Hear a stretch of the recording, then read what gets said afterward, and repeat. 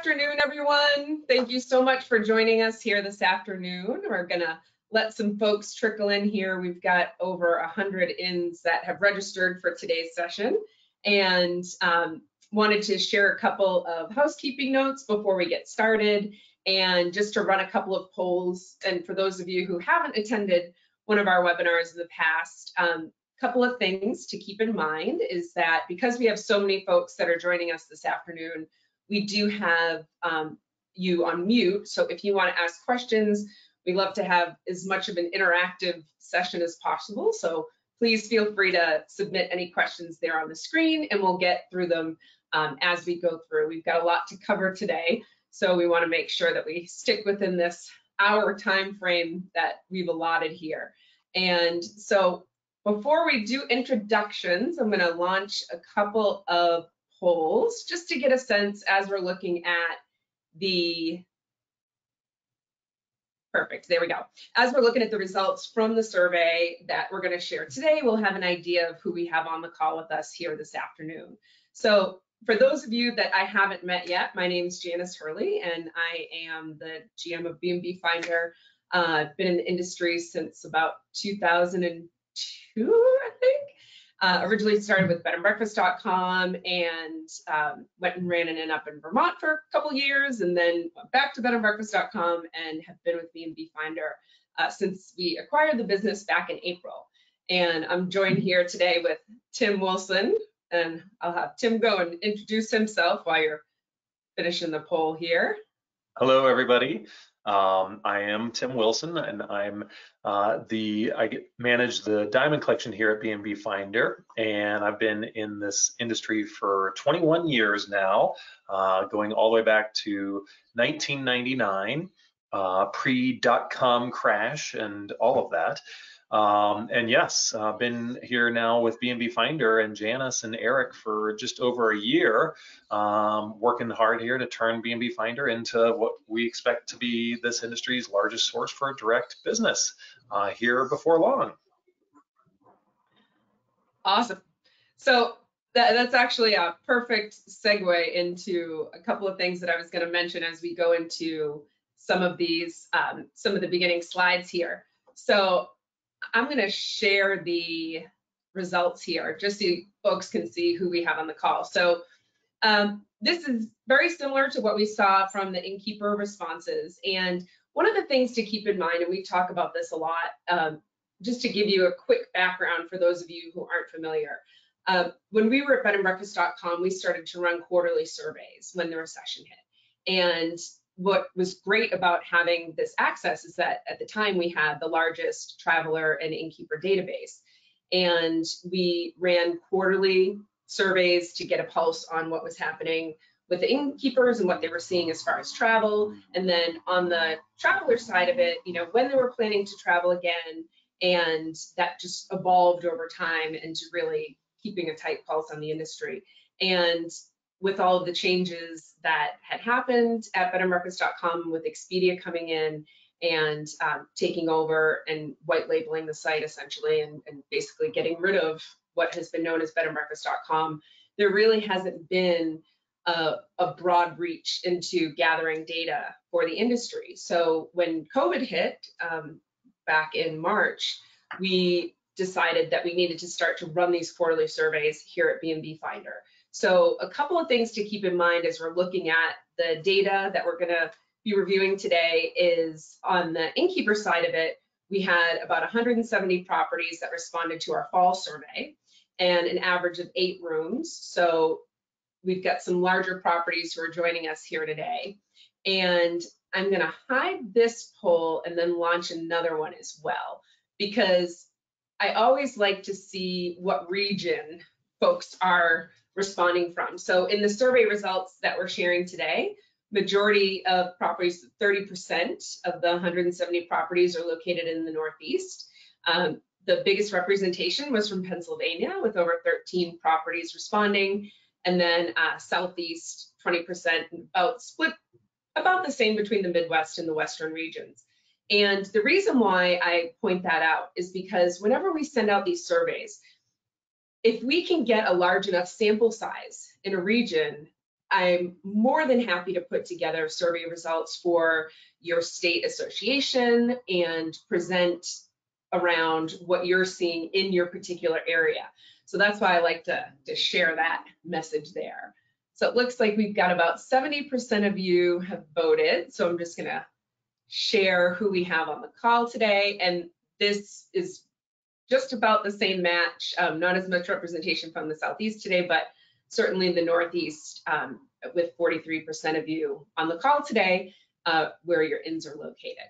So when we get into the traveler results, we had 625 travelers who responded to the fall survey.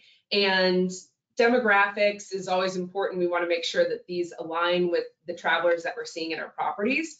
And one thing to keep in mind as far as our traveler responses is that historically they were uh, more skewed towards in favor of B&Bs because most of the of the travelers that we were surveying came just from our database. So they had either stayed at a B&B or had um, shown interest in in learning more about B&Bs. And in this past survey, what I did was I actually shared this out through our social media channels and I didn't send it specifically to our traveler database because I really wanted to get a sense from the broader um, the broader traveler base, traveler base to what they have been experiencing and what their travel plans are. So I think that's important to keep in mind just as we're going through the results here uh, this afternoon. So I'm going to kick this off with a quote that I've used in pretty much almost every single one of my presentations since uh, since the kickoff of the conference season last year. And this back then, I shared this because we were starting to talk about all the challenges that we had with Google and um, what inns were facing as far as you know not getting the representation that they deserved on there. And then of course this you know speaks so well to where we are today. And I read this a little bit differently than it says. I, I read it as a successful human is one who can lay a firm foundation with the bricks others have thrown at them. And certainly we could have never anticipated where we would be sitting today and all of the challenges that we've had. But I think one of the great things about our industry is the tremendous amount of support and education and knowledge that is shared in the B&B industry. And I think that, you know, making sure that you have the the opportunity to be able to reach out and connect with the resources that are available. This is an example of Acorn Internet Services. They have an incredible blog where they've been sharing a lot of data um, from the start. This was part of their um, their planning for their uh, for their clients and the different steps that they needed to take. And then another. Hey Janice, we can't see your screen. You can't. Nope.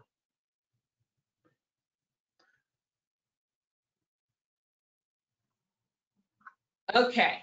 There we go. I think the poll must have kicked it. Okay, perfect. Thank you. Mm-hmm. All good now? Yep. Okay, great. So I'll just show you that slide again. So that's from the uh, Acorn Internet Services blog. And one thing to keep in mind too while we're going through the session today is we are going to send you a recording. So you'll have the recording. I attached a PDF of the slides that are attached in the handout section here. And um, You'll also be able to, in the email, get links to some of these things that I'll be referencing as well. So no need to feel like you need to keep track and keep notes. So this actually came up in a newsletter from Q4 Launch, and I loved it because they had sent it at a time when there were a lot of innkeepers who were wondering, you know, what should I be doing? How can I prepare for travelers when they come back? And what they said, which I loved,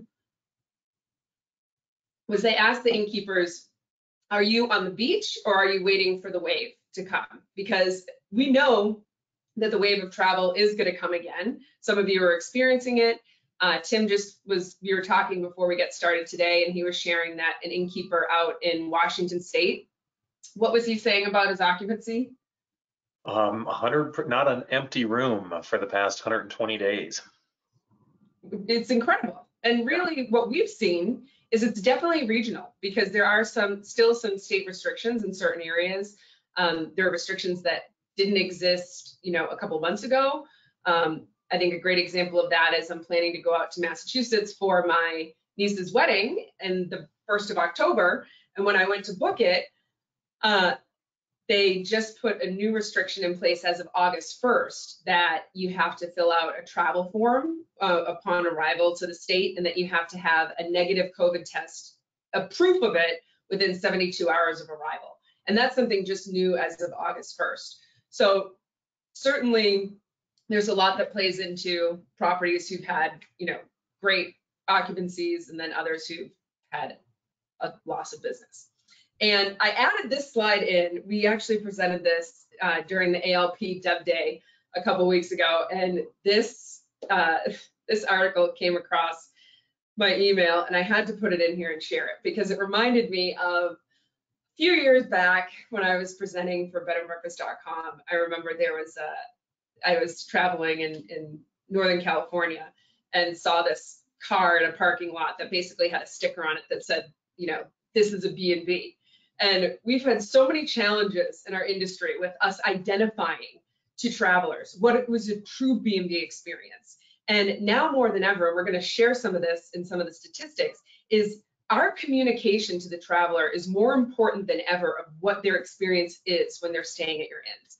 And so when this came across, this actually, the, the source is at the bottom, it came from a, a UK uh, newsletter and it was about Jeep and they are launching this new um, staycation and they're launching a new a new Jeep model.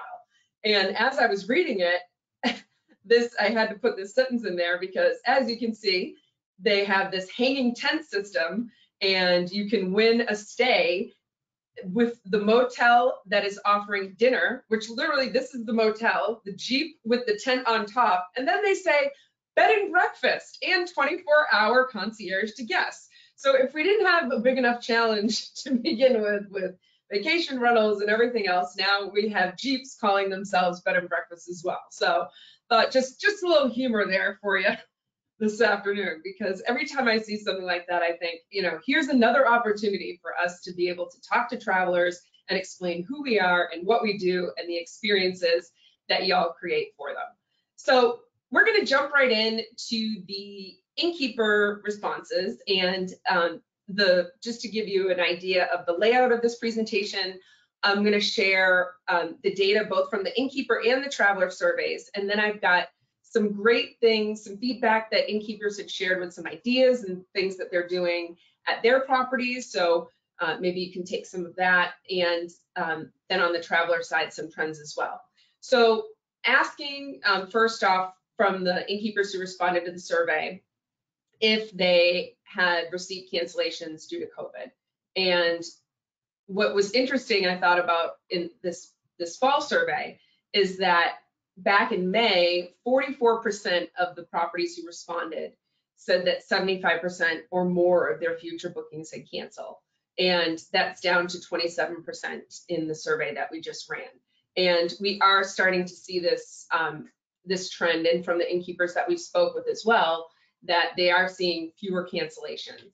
Um, some no increase in cancellations at all, and um, there is still a percentage, and I think a lot of this is demographic, where they've had all of their um, future bookings canceled.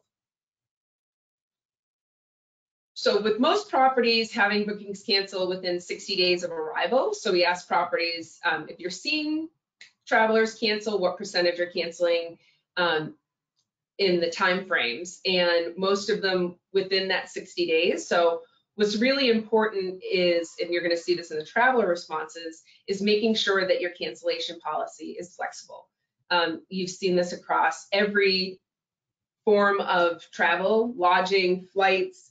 Everyone is talking about no cancellation policy, no fees to cancel. So we asked innkeepers what they're doing um, with their cancellation policies, which I'll share with you. So the highest percentage uh, canceled some travel plans when we asked the travelers, are you changing your travel plans to see if it aligned with what the innkeepers were seeing? And the travelers who canceled all future plans, that was up 6% over May. Um, and then some of them had canceled some future plans. And I think a lot of this contributes to the fact that there were, there have been consistently a lot of unknowns and a lot of changes with um, different regulations and travelers not being sure um, if they were going to be able to travel or not. And when we asked the innkeepers what they were doing for the cancellation policy, they, uh, let's see, 41% said that they cancel as needed with a with a full refund. And what we've been hearing a lot of from different ends is that they're really trying to work with the travelers and they're open to issuing either a gift card or a credit for a future stay um, or reviewing on a case by case basis. So if you've done anything to adjust your cancellation policy, you want to make sure that it's really clear in your booking process and that it's clear in any of the communication that is going out to travelers. And I'm going to share some of the examples and some of the feedback that we got from the travelers. So uh, this is from the innkeeper survey where innkeepers had shared some other ideas of things that they were doing that didn't necessarily um, wasn't represented on the traces that they were given. And I thought they were interesting, so I wanted to share them. Um, one property modified their cancellation policy to allow people to cancel up to three days prior to their arrival. Uh, one changed from two weeks to 48 hours. So again, that flexibility. And um, also there's a 24 hour cancellation rule during April and May with no fees assessed. So uh, generally during your busy season, you have a more strict policy, but a lot of properties are loosening those up. For travelers who booked prior to COVID, giving 100% credit to be used by the end of the year. So it's really important when you're thinking about your cancellation policy, what you can do really to retain those travelers so that they can come back for another stay in the future and then retaining that uh, revenue as well. So on the traveler side of it, we asked, you know, are you still planning to travel? When it's again deemed safe to travel, how likely are you? And one of the things that I think is really hopeful in this response is that the clearly 50% said absolutely we plan to travel, we can't wait.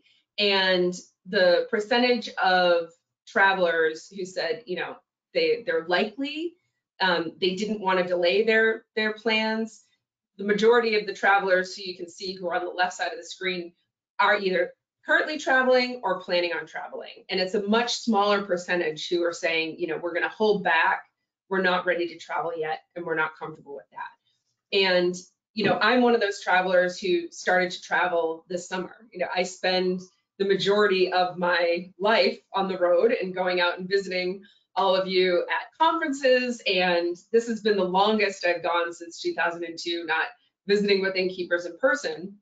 And finally, you know, a couple months ago, I said, you know, it, it's time. I need to go out. And it was my birthday in July. So I went down to one of my favorite properties in San Antonio uh, that actually has my favorite tub, and that's why I chose them. But uh, I went down and I think what was really interesting is, you know, even as someone who is a seasoned traveler like myself, I was still really curious, you know, what what's the experience going to be like? And I've stayed both in B&Bs and I've stayed in a hotel over the summer and I can say that, you know, from my experience, the the pre-arrival communication was key. And you'll see that in the traveler responses. And it really helped ease some of those concerns that I had, you know, to different parts of the country where people are traveling. Um, I have friends that have been going out and traveling and trying to go to as many national parks. There's different areas where folks, you know, not as many folks are wearing masks. And so, you know, it all depends on the comfort level of the traveler. So that the things that were important to me were communicated to me ahead of time. And then upon arrival, seeing it executed so professionally. I never felt unsafe. I always felt really comfortable. I could relax. And then I decided to fly to go visit a friend in Nashville. And that experience was was great as well. I flew Southwest, and from the minute that I got to the airport, you know, it, it did feel a little bit like a sci-fi movie, but you know, I never felt unsafe. And I think that it's something that we're going to continue to see is that, you know, will we ever get back to what it was pre pandemic, pre COVID? You know, that's still yet to be, you know, unknown. But what we do know is that as travelers are starting to travel again and getting more comfortable with it, we're going to see these numbers go up. So for the properties, um, we asked, you know, are you starting to see more reservations? Um, and have you started to receive bookings again? Again, this is really promising. 90% of the inns that responded said, yes, we are starting to see more reservations. And that was actually up 55% since our spring survey, which is great because we're continuing to see that trend. So I wanted to launch a poll for everyone who's on with us today, just to see if this is resonating towards what you're seeing as well.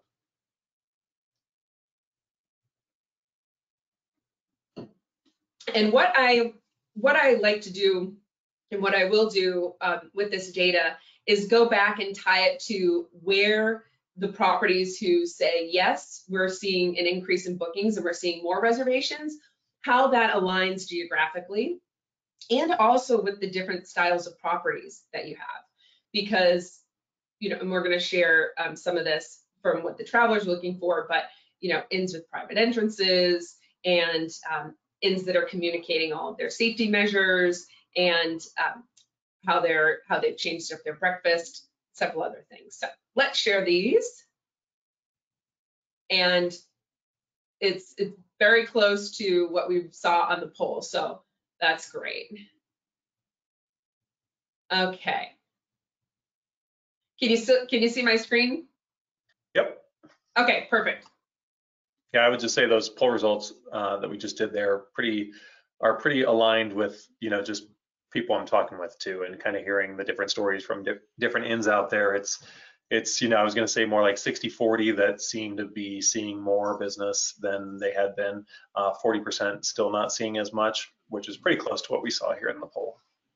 Yep, absolutely.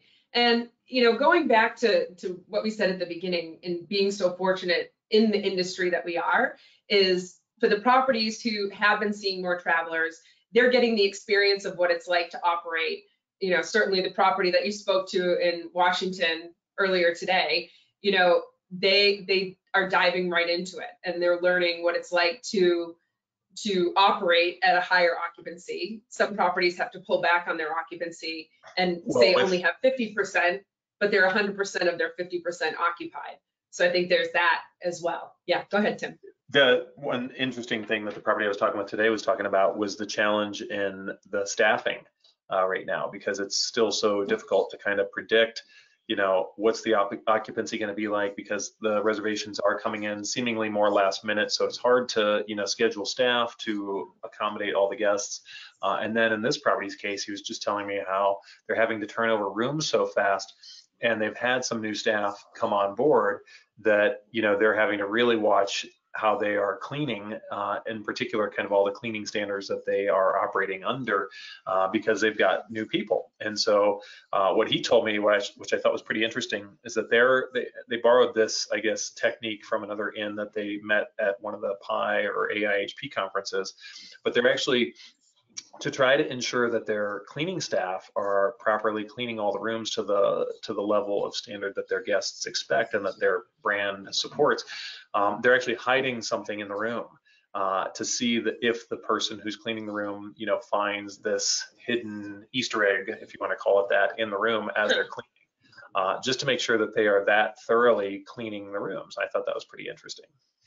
Wow. That that is definitely a great idea. And in staffing, I'm glad that you brought that up because that has been a challenge for a lot of properties, even pre-COVID, that are in more rural areas. Or, you know, I certainly experienced it when I was up in Vermont, and then um, in other resort towns or resort areas where lodging had become a challenge because of short-term rentals. So I think that's definitely something that that we should follow up on and share any kind of support and, and connect with ALP and some state associations on you know some things that they can do to help different ideas of, of how to to deal with the the staffing.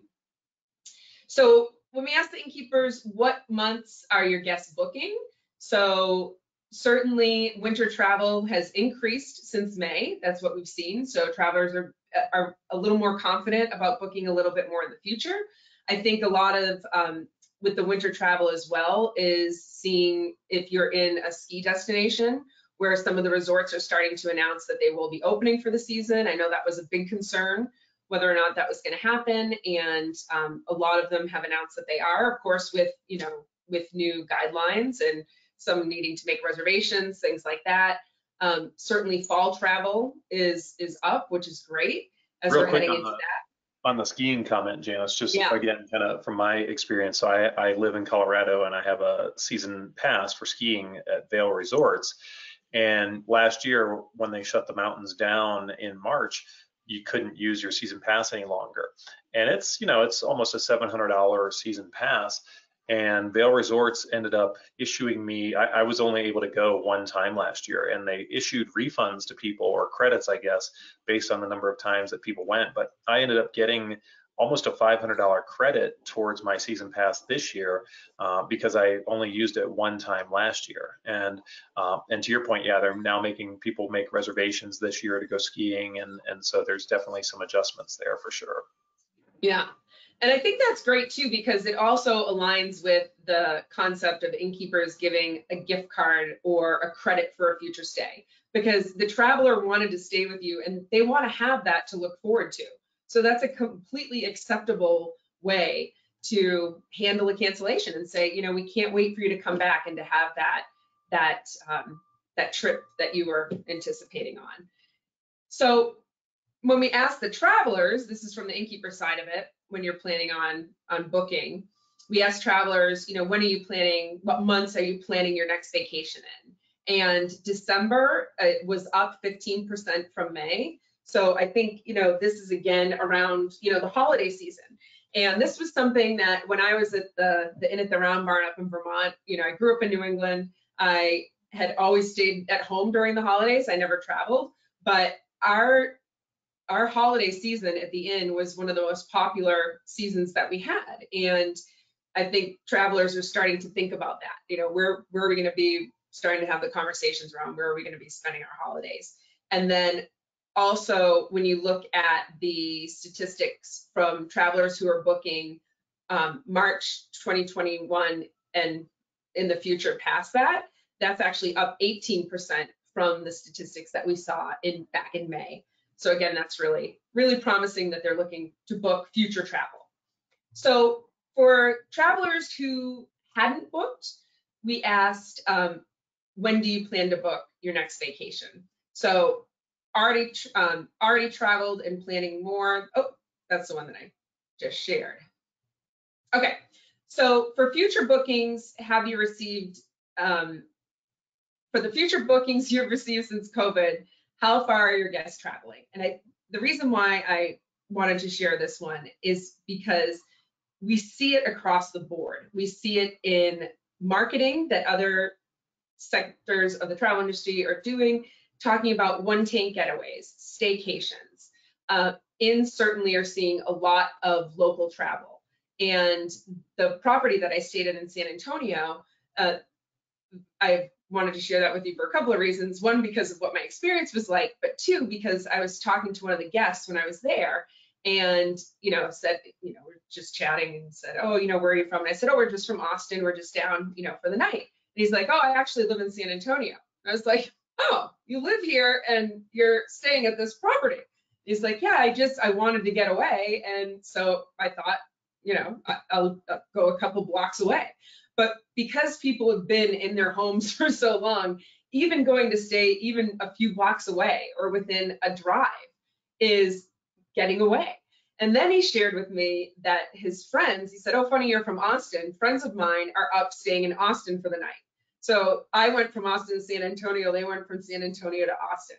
And we're seeing this, you know, as, as a growing trend. So in your marketing, being able to go in and target based on the location of your of your travelers, running specials to travelers who've stayed with you or guests that have stayed with you in the past that are within this radius of your property is definitely something to think about. Looked like you wanted to share something. I was just gonna say, yeah, and, and maybe kind of from a blogging standpoint too, you can write, you know, blogs about why you're, maybe you're, you know, I don't know, within 150 miles of a major metropolitan area and folks are not traveling internationally these days. Folks are not, you know, really getting on planes these days to travel leisurely too often anyway, uh, but they are still wanting to get away. And so, you know, through some, you know, good keyword research, there you go. Um, you know, targeting the one tank getaways from Austin is is one that we recently did. But um, in my previous job, uh, when I was a consultant with Whitestone Marketing, we used to work with a lot of our clients, you know, who maybe were just outside of a bigger city, and we would do you know top 10 you know reasons to you know check out you know this area if you're coming from this area and so um, we found a lot of success with you know highlighting that kind of getaway uh, even before the pandemic and so i have to think that it would be as successful if not more here during the pandemic Yeah, absolutely. And, and looking for opportunities with your own property and to be able to get out um, these messages through your blogs or through your email list. And then also looking for opportunities with anybody that you are using as a marketing channel. So with B&B Finder, Tim mentioned that this is um, a one tank getaway from Austin that we did back in August. And we actually are going to have a monthly series. The next one we're doing is going to be one tank getaways from New York City. And what we did was exactly what Tim said. You know, we looked at our traveler base and we saw where they were located geographically through our analytics. And we can say, okay, we have a high concentrations of travelers who live in the New York City area. So we know one tank getaways are popular. So we're going to write a blog article and we're going to feature inns that are in and around that area. And that's exactly what we did with Austin. And then we take this, it's on the site, it's great for SEO, and then also we share it out through all of our social channels. So so stay tuned for the for the upcoming destinations that we'll be highlighting. And I put this in here just because I'm clearly a fan of quotes, but when I was putting together this presentation for ALP, I saw this and I thought this is fantastic because the single biggest problem with communication is the illusion that it has taken place. And I think so often we think, oh yeah, I, I communicated that so well. Like, of course the guest knows what I'm doing at my property, but do they know? And have you communicated as clearly as possible? Because when we look at the statistics and we ask travelers, whoops, let me go in here. We ask travelers, um, whoops, go back.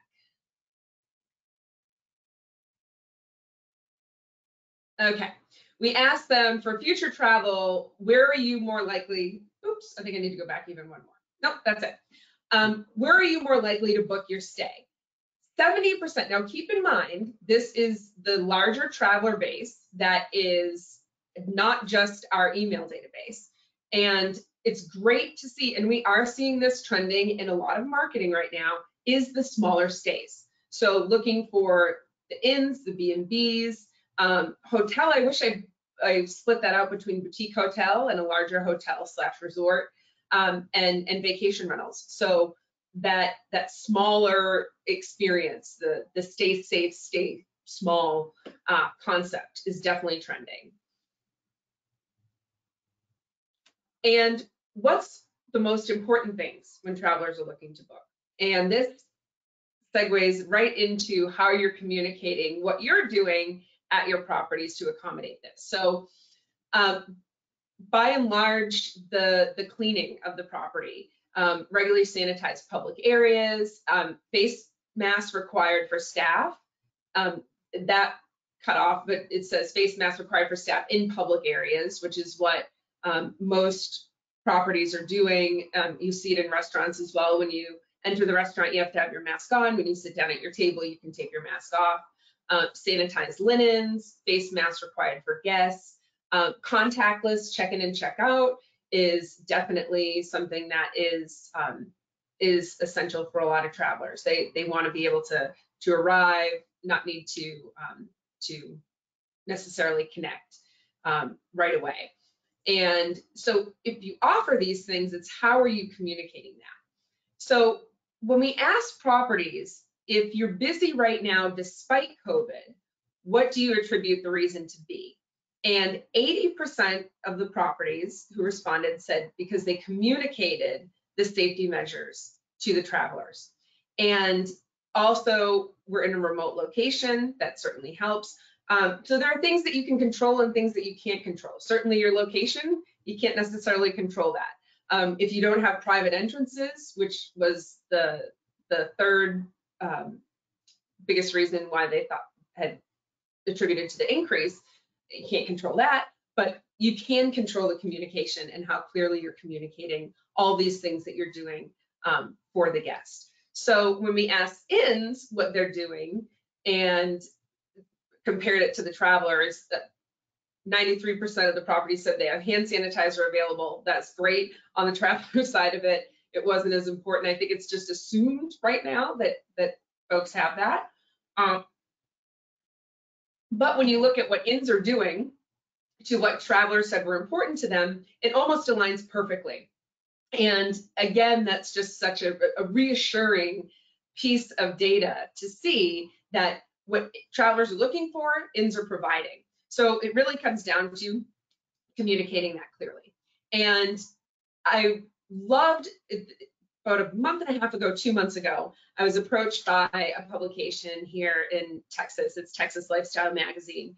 And they knew that smaller lodging was trending and they wanted to start a series about different inns and B&Bs in and around the state of Texas. And they wanted to partner with B&B Finder and have us share with them different inns that you know we recommend.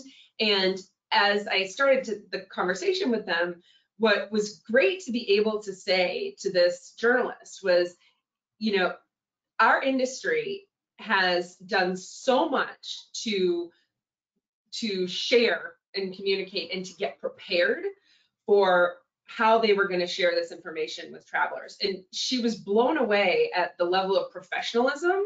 It's something that she completely didn't expect. So it made me realize, you know, you think of the average traveler and they think of you know big resorts or hotel chains having these big marketing teams that have all of the money that they can to spend on marketing and getting out these messages and then you think of all of you and the smaller inns and the small budgets and the cut budgets that we have in marketing and yet with all of that the, the great job that a lot of you have been doing in adding pages to your websites um, um, I'd say a larger percentage now um, than ever before when, and I see a lot of different websites a day, this pop-up comes up almost immediately. If they don't have a pop-up, they have something right on their homepage calling out this is what our update is and because it's ch ever changing, you know, making sure you have access to easily update that. If you have a page that's dedicated on your website to this, make sure that on any of your marketing channels where you have the opportunity to share this information with guests that you're doing so.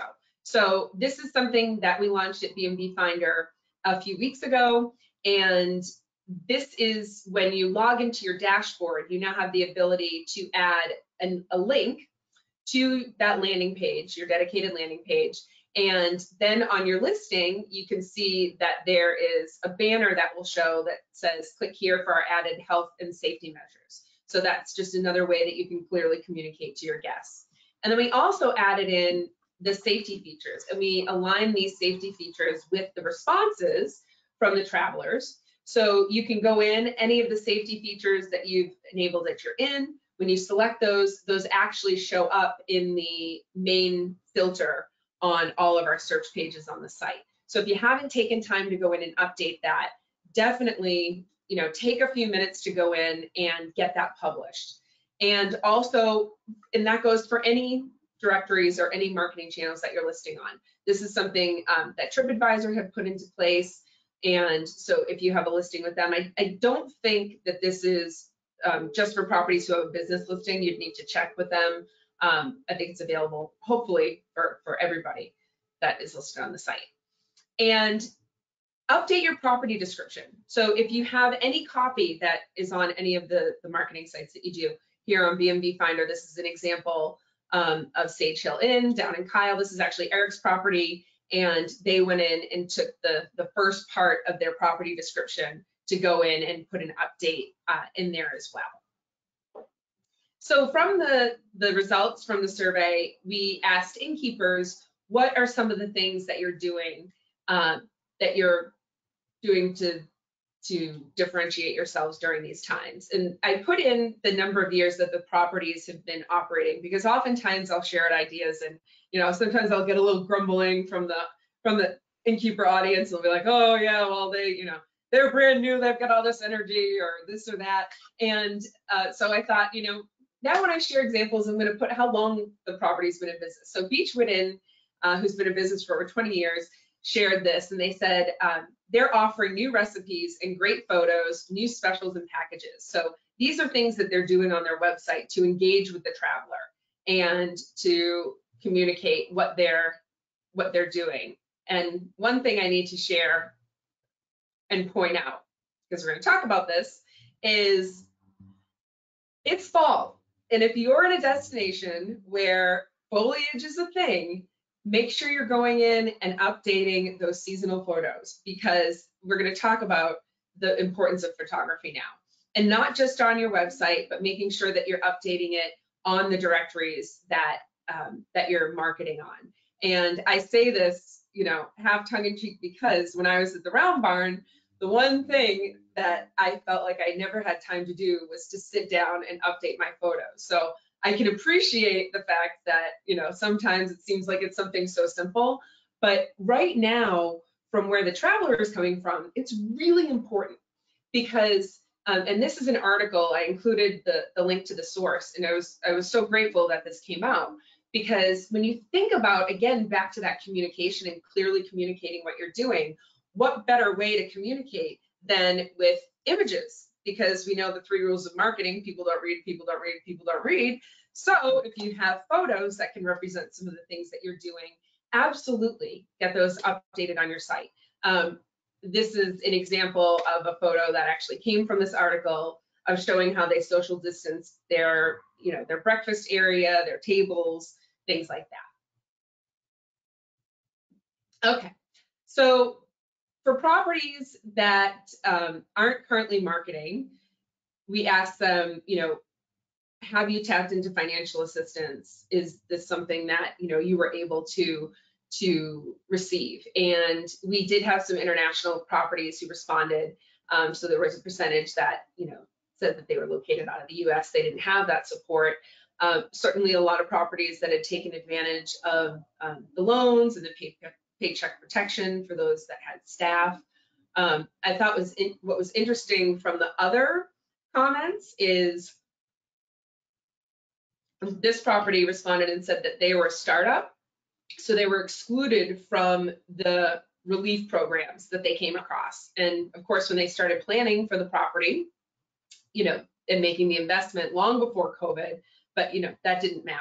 And they didn't have the tax tax records to support any um, assistance grants. So again, going back to our industry and how supportive it is, you know, being able to provide information for, for all types of properties on how they can get access. Because at the end of the day, you know, Jerry Maguire, I put this in there, isn't the only one who's waiting for someone to show them the money, right? Everybody right now is looking, you know, what marketing dollars you have, how you can best use them, and um, there are a lot of things that innkeepers shared that they've been doing that don't necessarily cost money. So I'm going to be sharing some of those with you. So on the traveler side, we asked, you know, do they have the money to travel? Have, has your job been affected? Um, 41%, yes, it already had been affected. And then, you know, you look at the, the larger percentage, either they're in retirement or their job hadn't been impacted yet or they don't expect it to be impacted. Uh, I think there are certainly a lot of industries that are fortunate that have been able to continue to work from home. Um, in Austin, just I think it's yesterday, just passed and said that 75% of offices can go back into the office environment, um, up to 75% occupancy in offices, in grocery stores, all this types of things. And you know, the hardest hit sectors, of course, are hospitality and um, and the music industry and, and some others. So there's certainly a, a, demographic that aligns with our traveler demographic that um, hasn't been impacted. So when we asked the 42% of properties that said that they haven't changed their marketing, we asked them why. Um, and 46% that said that they didn't do anything, they haven't changed their marketing. So when I mentioned, you know, not all marketing has to have a direct cost out of your pocket, when we asked innkeepers what they were doing, specials and packages and deals and discounts were the top two. And what I love about this is it gives you a great ability to be able to add in, um, you know, perceived value, to come up with different value adds, and to get really creative with how you're positioning your specials and packages, your staycation packages, um, deals and discounts. The the Fairmont inn Austin um, was a new hotel that went up. I think it's been about two years now, and they've been running almost every week a discount for locals. And I see this uh, almost daily in my email from all different types of brands. You know, show your local ID and get you know 15% off your stay. I just had an in that I got their newsletter yesterday, and they were they were doing something similar to that. Um, breakfast options, when we asked the travelers, you know, when we shared with you what was important to them when they were traveling, these were the other um, the other part of that graph that I didn't show you that were at the bottom. And the reason why I broke this out separately is because, you know, breakfast is a big part of what we do. And for travelers, there it's equally important. You know, where are they having breakfast? Do you have in-room breakfast available? Is to go breakfast available and communicating that with um, how you're how you've changed your service.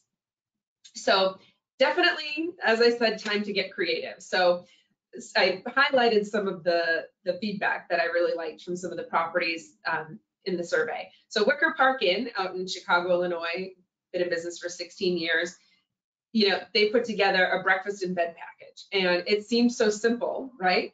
But if we know that breakfast is important to travelers, putting together even something as simple as a breakfast in bed package has been really successful for them. And you know, this is something that we offered at the Round Barn, but for years we never advertised it because my breakfast chef never really wanted to do it. It was too much work. So do, putting this together, I loved it. Um, Devonfield Inn, the, the inn has actually been in business for much longer than two years. These are new owners that took over two and a half years ago. That's out in Western Mass. Um, they're fortunate enough to be on 32 acres. So they put together a yoga and a concert series on the lawn this summer that they said was really successful for them. Um, there's another property that's here in Texas that is um, Barron's Creekside Inn. And what they did, Daniel, the owner, shared with me, which I thought was brilliant. This was very early on. This was in March, um, end of March. They have a lot of individual cottages and buildings on their property. And they also have this great space where guests would gather in the evenings to have cocktail hour and um, to have some snacks. And they, of course, couldn't do that and still can't, I believe. But what he did was he got a pickup truck and had a band in the back of the pickup truck. And every evening he would drive through the property and guests would come out on their porches and they'd be having their, you know, their wine and their snacks in their socially distanced space. And there would be the music coming through. You see this with drive-ins that are happening. There's a lot of um, of drive-ins that are coming up. A friend of mine, there's one in Chicago. There's now one in Atlanta. There's one on Cape Cod in Yarmouth. Um, there's several of them popping up. So if you have something like this in your area, you could even put together a package around, you know, come and and have a have a drive-in um, concert series.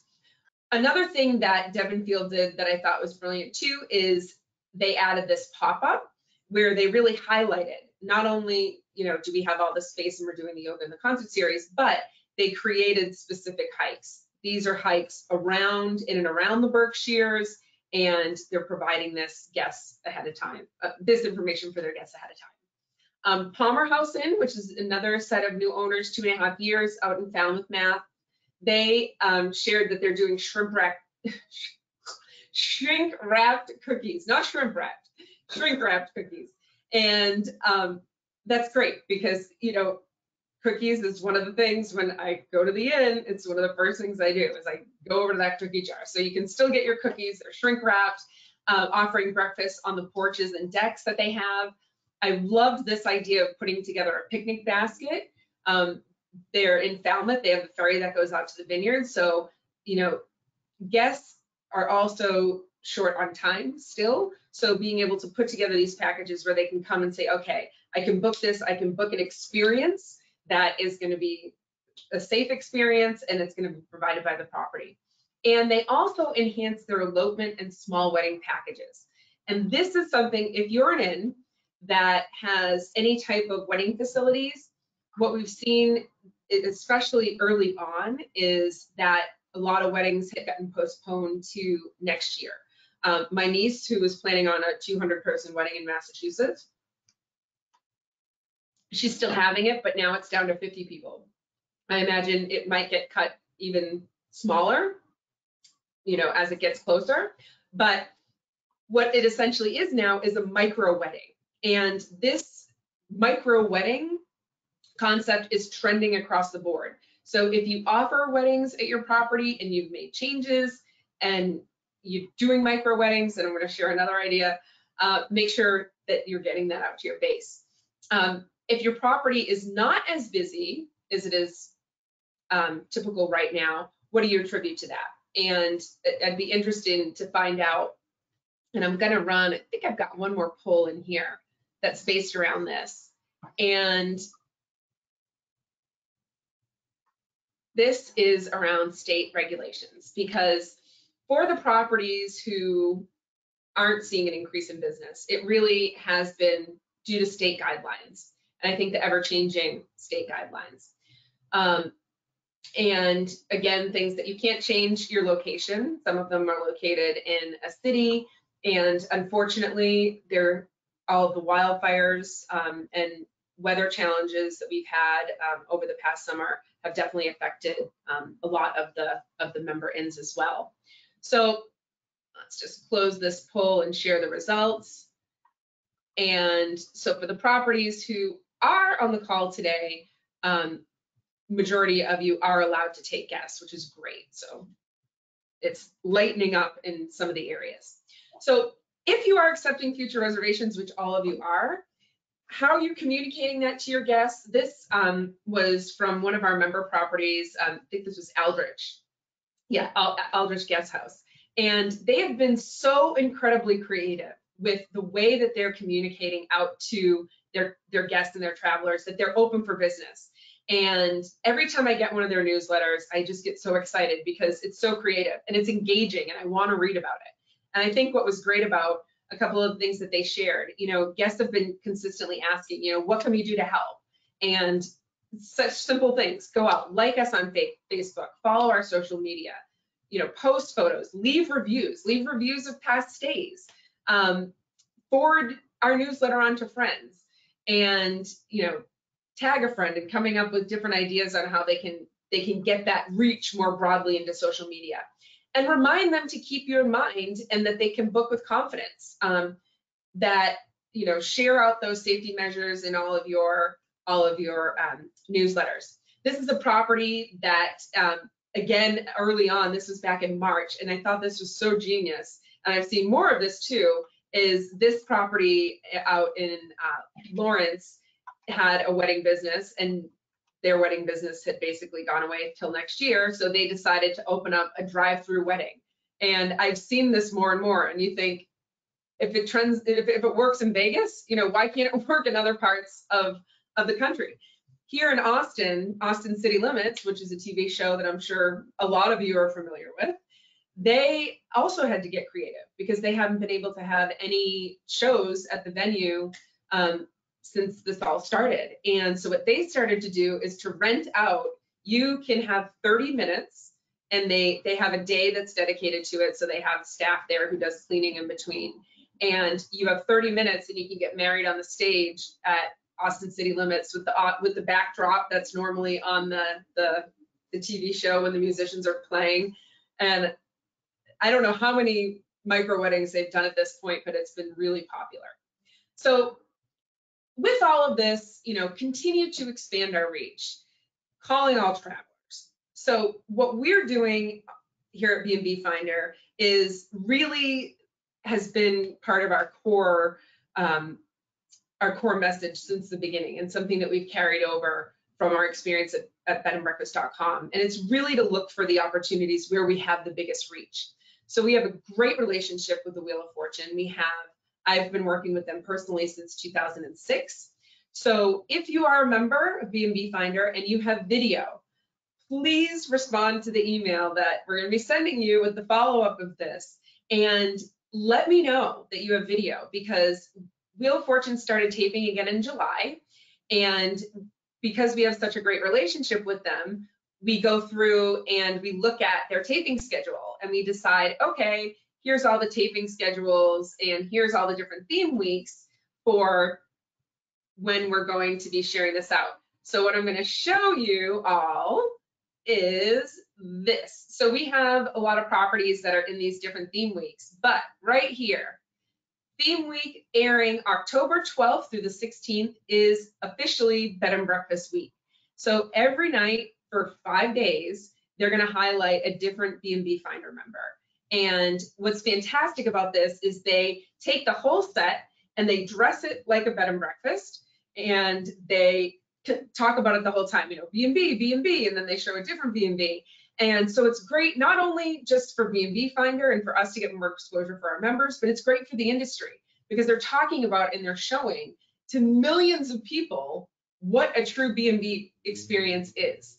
And um, I'll be sending out, you know, when we get ready to air date, we're working on all of the, the promotions that we're doing as well. Something else I wanted to share with you is if you attended one of our previous sessions several months ago, I sort of gave a little bit of a uh, a hint that we might be working with another TV show, and um, that actually came to fruition, and they started taping again. And you might, I'm not a big TV game show watcher, so I, I sort of remember this show, but the show is 25 words or less. And it's actually a show that had been around for years and then went away and they brought it back. And Meredith Vieira is actually the host, hostess of the show.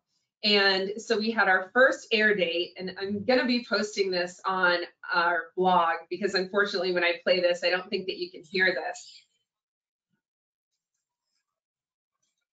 Yeah, we can't hear it.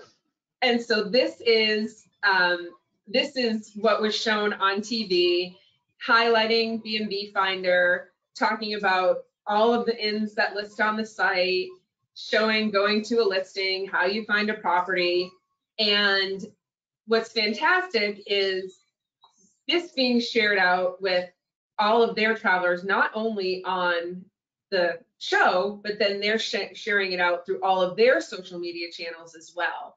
And so another just great opportunity to reach as many travelers as we can through all different markets. And again, not just tapping into the travelers who are already familiar with us because, you know, there's been a statistic that's gone around for years of how many travelers um, have never stayed at a B&B. Do you remember what that was, Tim, from all those years back? Uh, I I was afraid you were going to ask me that. I don't remember what the actual statistic is, but I remember talking about it over the years, and it was it was a yeah. large percentage. Yes, and that's that is you know, to me that is what I have focused on because we want to turn as many non-B&B goers into B&B goers as possible. So anytime we can find opportunities where we can reach out and we can reach more properties Uh, or more travelers, we do that.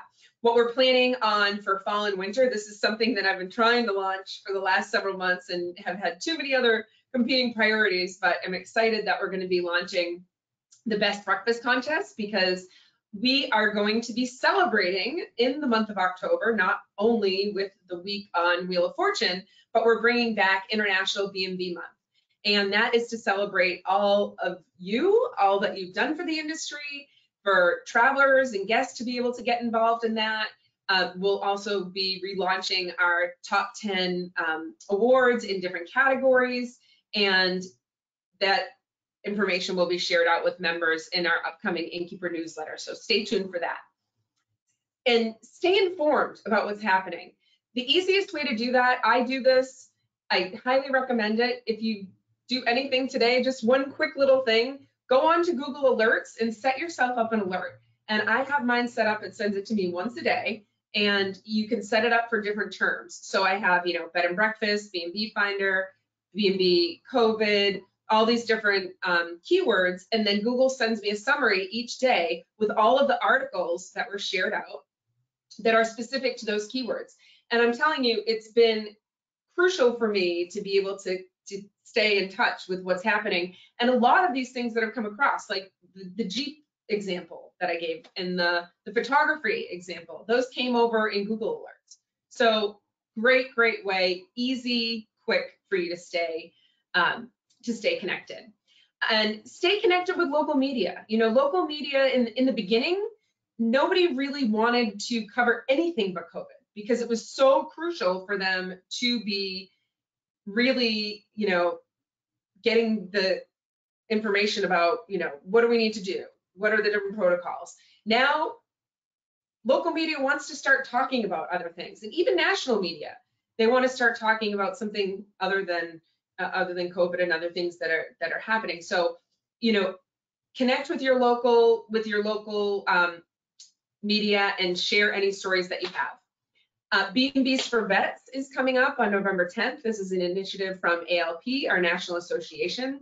It's a fantastic program. I participated when I was at the Round Barn, and you can choose to donate one room or more than one room, um, whatever you're comfortable in doing.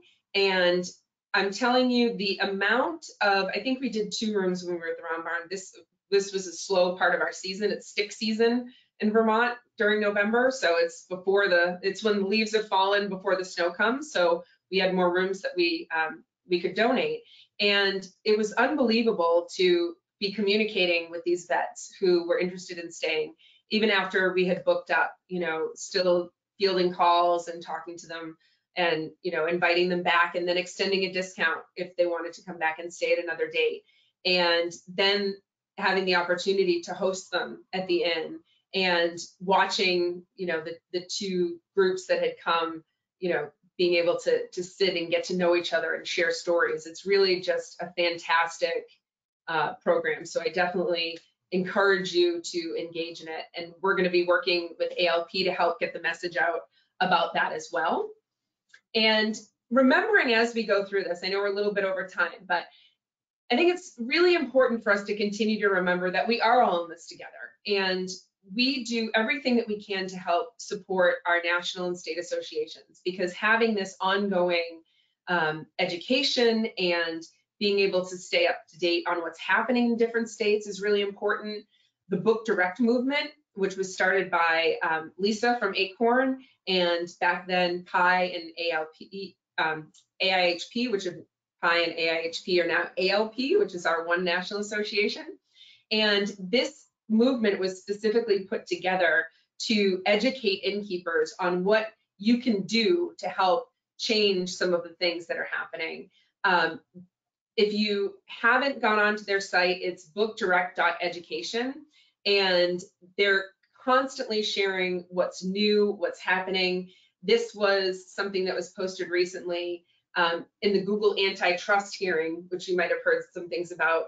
They were calling out because a congressional hearing was scheduled for that day and they wanted to get as many innkeepers involved as possible. So absolutely, if you haven't had a chance to go onto their site, take a few minutes and you can sign up for their newsletter where they'll send you any updates that they have um, that are ongoing.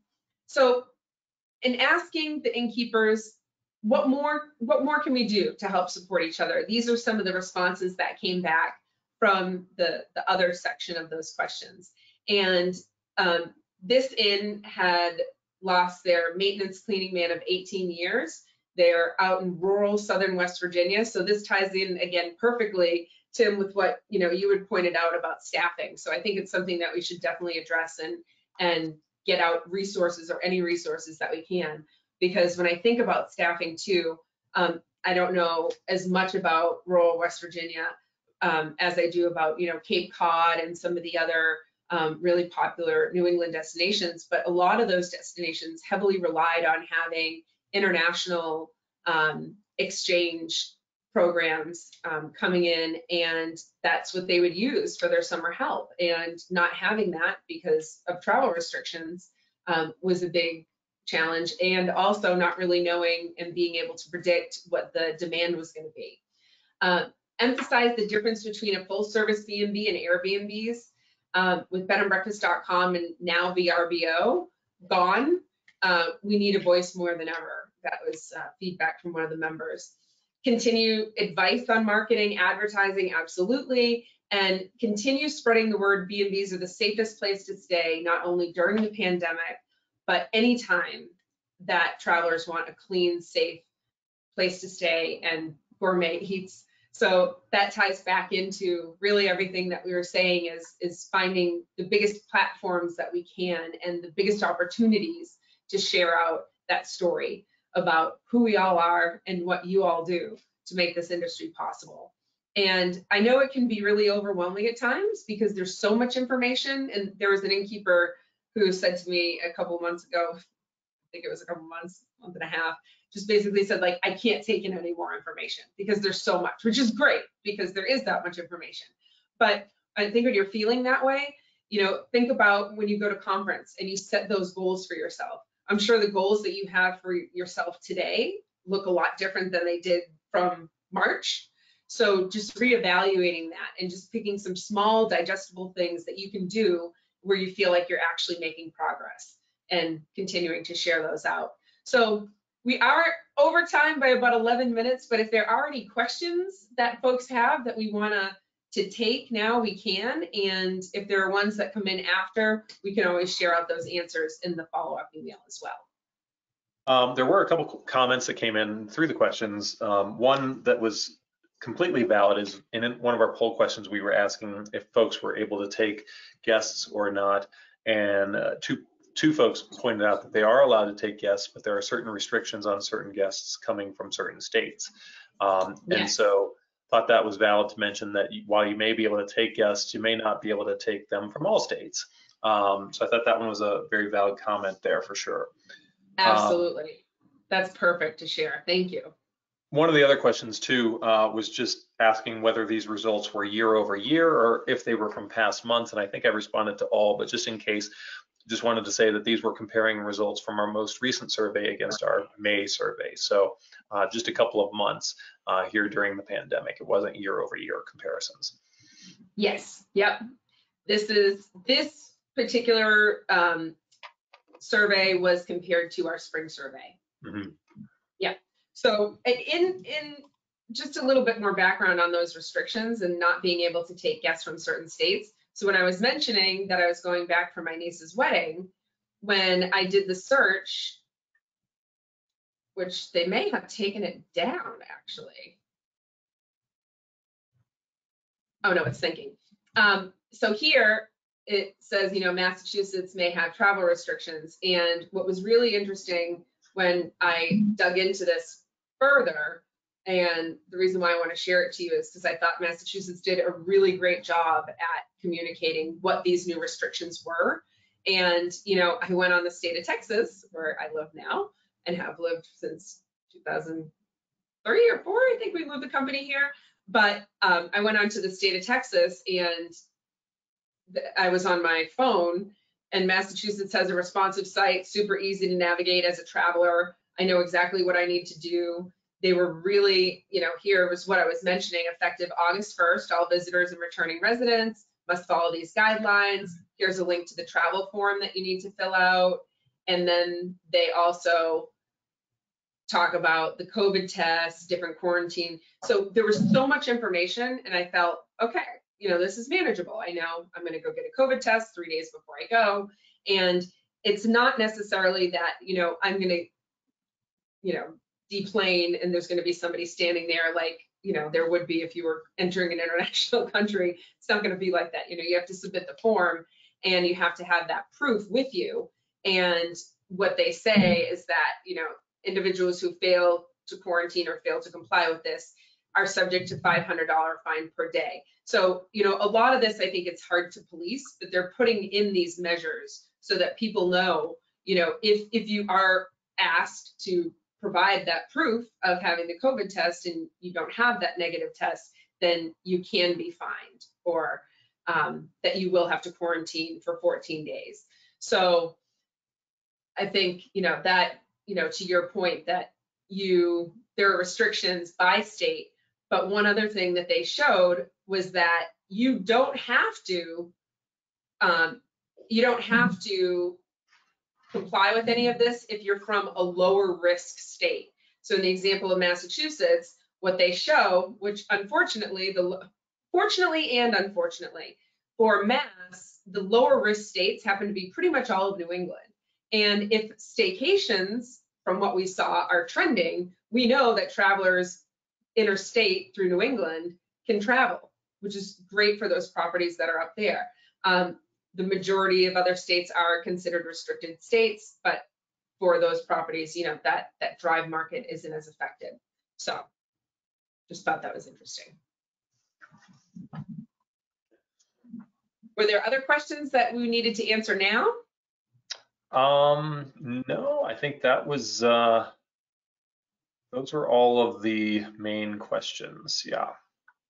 Um, one other thing. I would add too, you were talking about the specials and packages and deals that people are doing, and you know, talking about the fact that it doesn't necessarily have to be, you know, any kind of financial implication on you, uh, where you're giving a discount or that kind of thing. It can just be the value added uh, stuff that you do. Uh, but I had, I had an old client up in Maine that used to do this package that was pretty popular that I always loved, and it was very, very, very low cost. Um, but it was their stargazing package. And basically what it was was, you know, you book the stargazing package and they give you a blanket, a thermos with some hot chocolate, you know, a couple mugs, and you know, tell you the best place to go out and just look at the stars. And you know, so low cost, but right now I think also, you know, totally appropriate and interesting to folks who are kind of looking to get away and you know, spend some time together. And so it doesn't have to be, you know, some big offer or that kind of thing. It can be something, you know, just as simple as that. And he, he did really well with that package. So I thought I thought I'd share that as well. That, I would book that package. That sounds amazing. Yeah. Especially, you know, being here in Austin, I don't, I have to go pretty far out in the hill country to see any, any stars. So I love that. Oh, That's great. Anything else that came through? Um, no, I don't have any other questions that have come in, but um, if there are any, fire away. We'll answer them. Yes. And if we miss them, we'll always include them in the follow-up email as well. So, you know, I can't thank you enough for taking time out of your day and hopefully you picked up one thing that you could implement or learned something that uh, was interesting. We're going to continue our webinar series. Um, you know, depending on how things shift, you know, we'll plan on doing our next survey in um, probably most likely at the end of, of the year to, to round out and see how things, you know, finished out and also to tap into what travelers are looking for for um, late winter, early spring travel. So we'll be reaching out for that. So keep an eye out for that, uh, those surveys coming through. And then we'll also continue to host um, some guest speakers as well. So if you aren't currently a member of B&B Finder and you want more information, I think you figured you filled that out in the registration form. Um, we can get out those details for you and, and connect you with Tim. And for all of you who are currently members, uh, we are more than happy to meet with you, set up a one-on-one call with either Bo, um, who manages our customer experience, and um, just to go in, evaluate your listing, see if there are any opportunities that we can do um, to help get you as much exposure as possible. So uh, thank you so, so much for all of your time Um, one other comment did just come in uh, regarding Yes. B&Bs for vets, uh, and that's just a reminder that the B&Bs for vets program is also for spouses of vets as well. Um, so if you're talking with folks, uh, just know that it's it's for spouses to vets as well because they're kind of vets also. So That's awesome. I love that program. And if there are other programs that you have um, that are similar to things like B&Bs for vets, uh, definitely let us know. And um, I just actually had an idea that came up from that because I was thinking of all the things that we've done over um, over the years. And um, Tim's wife is actually a school teacher uh, out in in Cherry Creek and just outside of Denver in Colorado. And um, he had come up with an idea several years ago that we need to bring back because especially right now with all of the teachers that have been taking back students or they're teaching virtually and all of the challenges over the last several months, the end of the school year and now the beginning of this new school year. Um, I think honoring teachers would be fantastic for us to do.